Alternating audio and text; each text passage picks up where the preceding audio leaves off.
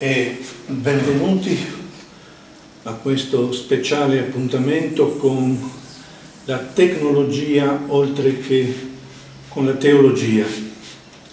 Un saluto cordiale quindi da questa terra lontana e assolata che è il Brasile, in particolare lo stato di Bahia nel quale mi trovo terra della felicità, come ottimisticamente chiamata dai suoi abitanti, terra da felicidade. Bene, io sono lieto della continuità degli incontri promossi dall'amico e collaboratore Claudio e sono lieto di essere presente in questa forma speciale, no? tecnologicamente avanzata al fine, secondo la richiesta di Claudio, di offrire un cenno, uno spunto di riflessione che in qualche modo abbia attinenza con il tema del convegno. Tutto questo nel tempo record di 10 minuti. Eh, in particolare mi chiedeva di portare riferimento a quel testo biblico che ha come protagonista il profeta Elia, e che riferisce di una teofania che nei suoi termini descrittivi passa dal vento, un vento gagliardo, un vento forte, al terremoto, al fuoco, eh, finendo poi in quella che sarebbe una brezza, una brezza leggera. Così è il testo di, eh, del primo libro dei Re, 19-12. Una brezza leggera, quindi un punto d'arrivo forse un po' inaspettato date le premesse e peraltro credo anche deludente. Mm? Direi che nei pochi minuti a disposizione io mi limiterei a segnalare un particolare. E questo particolare è che la brezza non viene dal testo biblico, non c'è brezza nel testo biblico. Questo concetto viene dalle traduzioni, viene dai traduttori, viene dalle buone intenzioni dei traduttori che al fine di avvicinare il testo al lettore rendendolo più facile e comprensibile finiscono per cambiarlo, no? per questa buona ragione di adattarlo e ahimè viene quindi perduto il, significato originale del termine. Qual è il concetto, qual è la parola che è presente nel testo ebraico? Bene, questa parola in ebraico è kol, che significa letteralmente voce. La versione greca di fatto traduce con fonè. Dunque, per quanti hanno seguito anche un po' i nostri precedenti incontri, è il caso di dire ci risiamo. Ci risiamo perché su quello stesso monte, il monte Horeb, eh, denominato il monte di Elohim, quindi un monte che ha un particolare carattere teofanico, già abbiamo incontrato la rivelazione del nome sul rovetto ardente e abbiamo indicato, abbiamo riconosciuto peraltro il concetto di fonè, di voce, come quel concetto che più di ogni altro presenta valore interpretativo dell'espressione del nome divino, ossia nell'ebraico Eye, Asher Eye, in italiano sono colui che sono. Bene, eh, quindi eh, ahimè eh, non ci siamo con la traduzione e ahimè questo è un caso che non è per nulla isolato. Direi proprio che il concetto di voce, tra virgolette, è un concetto vittima dei traduttori, nel senso che sembra essere ben poco riconosciuto e quindi riportato con fedeltà in tutta la sua pregnanza teologica. Peraltro mi pare che anche nei brevissimi incontri avuti in passato, mi pare siamo riusciti un po' a porre una puntualizzazione secondo la quale il concetto di fonè, di voce, è concetto fondamentale della pneumatologia, così come il concetto di parola è concetto fondamentale della cristologia. Tutto questo non è poco.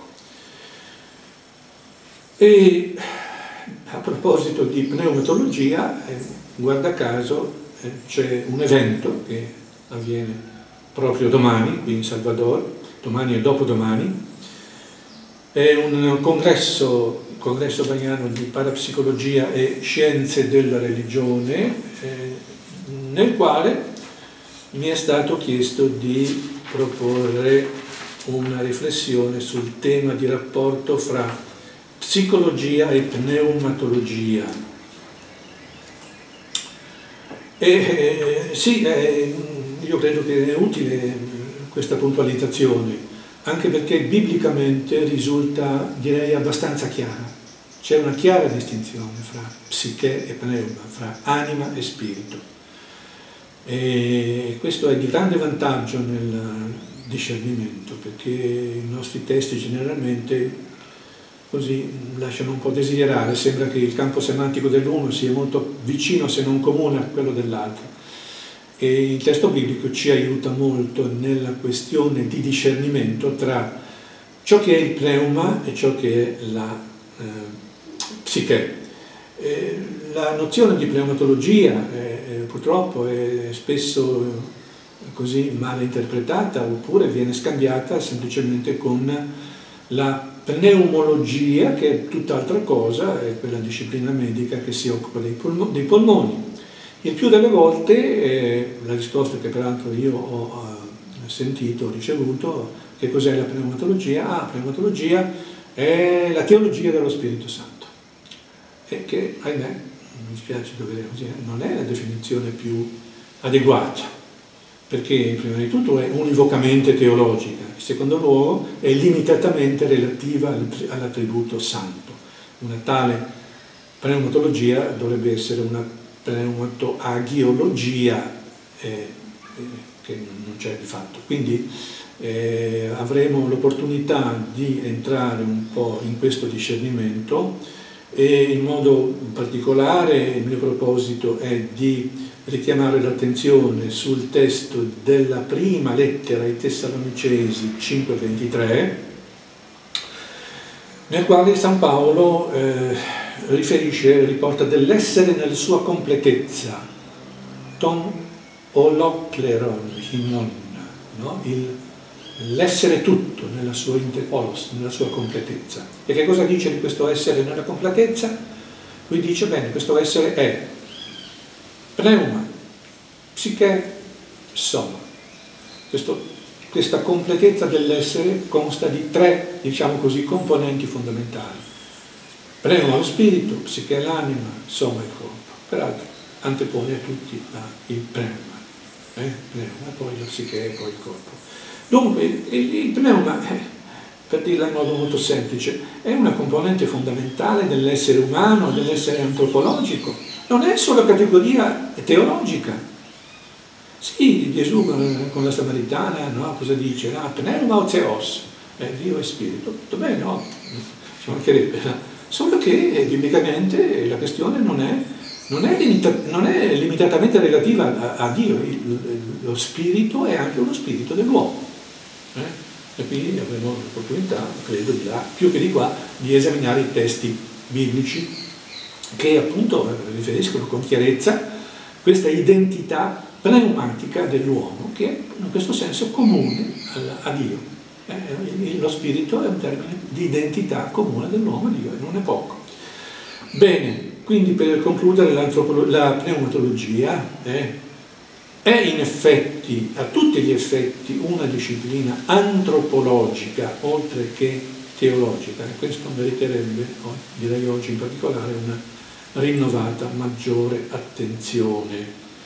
Ahimè, il mio tempo vedo che sta per scadere, quindi direi che questo e altro potremmo eventualmente riprendere negli appuntamenti della prossima stagione primaverile estiva, grazie all'impegno e alla collaborazione del nostro amico Claudio.